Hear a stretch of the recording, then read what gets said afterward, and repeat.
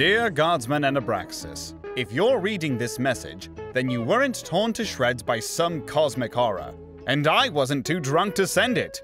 In any case, life on Isstvan 9 is treating me well. I'm only one day into my retirement, but I'm adjusting very quickly. I've already dropped the habit of looking over my shoulder to make sure a commissar isn't there. Anyway, I do wish you could experience retirement. On another planet, because this one is mine. The Emperor protects Commander Rigel Keane. to think, I get to stay here for the rest of my life.